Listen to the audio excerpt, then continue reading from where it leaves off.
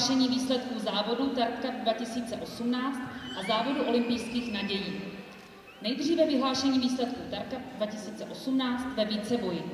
Na třetím místě se umístila Alicia Dobrolecká Polsko.